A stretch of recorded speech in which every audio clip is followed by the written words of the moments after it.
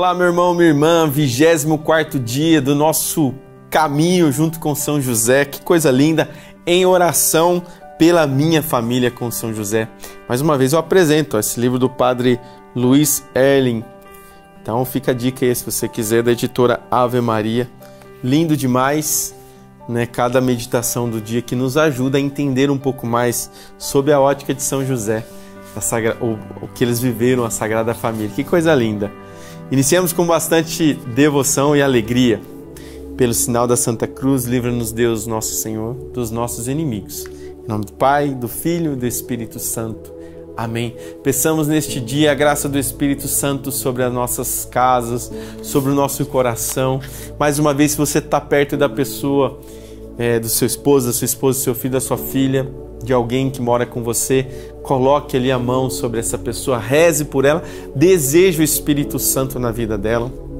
Meu irmão, não há nada melhor, não há presente maior, não há presente melhor do que você desejar o Espírito Santo para quem você ama. Desejar e rezar por esta pessoa. É o tesouro que nós encontramos. E quando a gente encontra o tesouro, para quem a gente ama, a gente quer dar. Então, nesse dia de hoje, peça essa graça, a graça de ser inundado, cheio do Espírito Santo, repletos da graça de Deus. Rezemos juntos. Não é na multidão, Senhor, que está o vosso poder, nem vos comprazeis na força dos cavalos. Os soberbos nunca vos agradaram, mas sempre vos foram aceitas as preces dos mansos e humildes. Judite 9,16 Em uma de nossas fugas, passamos por Mostorod e Belbeis e chegamos a um lugarejo chamado Teubasta. Lá estava muito seco e sentíamos muita sede sobretudo Jesus, que estava inquieto com o desconforto da garganta seca. Ao longe, vimos um grupo de pastores e Maria apressou-se em conversar com eles e pedir um pouco de água que nos foi negado. Jesus então começou a chorar de forma compulsiva e nesse mesmo local, não sei explicar direito por que razão, mas brotou de forma repentina uma fonte de água no chão. Assustados, os pastores ajoelharam-se e pediram perdão pela falta de caridade. Ficamos ali um bom tempo, nos refrescando e descansando. Seguimos caminho e em uma parada percebemos que Jesus tentava se levantar sozinho. Maria dava uma gostosa risada e dizia: O meu menino está crescendo rápido e já quer começar a andar. Rimos bastante e um tempo depois escutei novamente Maria rindo e perguntei: O que foi dessa vez? Ela respondeu: No corre-corre eu não tinha reparado que dois dentinhos dele já estavam aparecendo. Agora ele vai querer comer carne. E riu novamente com prazer. Que coisa linda a gente poder ver essa graça da Sagrada Família sendo família. Com certeza você se lembrou aí, você que tem filho, filha de como você se alegrou, como você se emocionou quando seu filho começou a andar, começou a comer sozinho. Que alegria a gente poder ver que a Sagrada Família viveu essa experiência. Milagres acontecem todos os dias à nossa volta, mas somente os amigos de Deus conseguem vê-los e por isso olham para a vida com esperança. Os milagres acontecem, meu irmão, mas os amigos de Deus conseguem ver. O convite de hoje é: seja amigo de Deus. Leve a tua família para ser amigo de Deus. E que benção você poder colher o fruto da alegria, de risos e sorrisos, da evolução, dos milagres que vocês contemplarão a cada dia, onde talvez tiver a garganta seca, quando vocês tiverem ali um momento, uma secura, talvez no relacionamento, mas um amigo de Deus pode ver o milagre dali brotar uma água, brotar uma fonte. E que alegria, a água que Jesus nos dá é a água que não nos, nos dá, não nos torna termos sede mais. Que nós possamos viver esta graça, este privilégio de sermos amigos de Deus. Façamos juntos a oração a São José pela minha família. Deus Pai, que por obra do Espírito Santo fecundaste o seio virginal de Maria e escolheste São José para ser o pai adotivo de Jesus e o guardião da Sagrada Família. Eu te louvo por ter o amor incondicional por mim, por minha família e por toda a humanidade. Senhor, é a tua providência que tudo rege.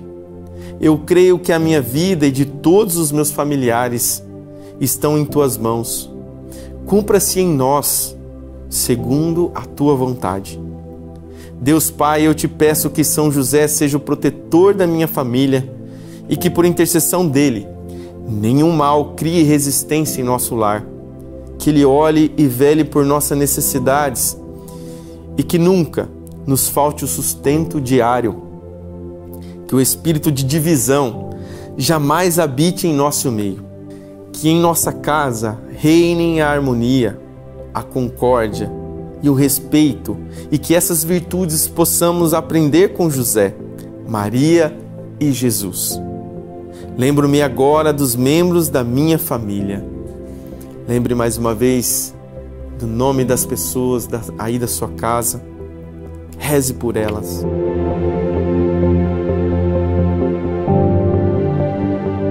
E os coloco no coração casto de São José para que sejamos abençoados neste momento, durante toda a nossa vida e na hora de nossa morte. Eu confio, amo e espero, assim como teu servo, São José. Amém. Pai nosso que estais no céu, santificado seja o vosso nome, venha a nós o vosso reino, seja feita a vossa vontade, assim na terra como no céu. O pão nosso de cada dia nos dai hoje Perdoai as nossas ofensas, assim como nós perdoamos a quem nos tem ofendido. E não nos deixeis cair em tentação, mas livrai-nos do mal. Amém. Ave Maria, cheia de graça, o Senhor é convosco. Bendita sois vós entre as mulheres, e bendito o fruto do vosso ventre, Jesus. Santa Maria, Mãe de Deus, rogai por nós, pecadores, agora e na hora de nossa morte. Amém. Ave Maria, cheia de graça, o Senhor é convosco. Bendita sois vós entre as mulheres e bendito o fruto do vosso ventre, Jesus. Santa Maria, Mãe de Deus, rogai por nós, pecadores, agora e na hora de nossa morte. Amém. Ave Maria, cheia de graça, o Senhor é convosco. Bendita sois vós entre as mulheres, e bendito o fruto do vosso ventre, Jesus. Santa Maria, Mãe de Deus, rogai por nós, pecadores agora e na hora de nossa morte. Amém. Glória ao Pai, ao Filho e ao Espírito Santo, como era no princípio, agora e sempre. Amém. São José, valei-nos. Meu irmão, minha irmã, finalizando o 24 dia, juntos com São José, que alegria podemos sermos amigos de Deus.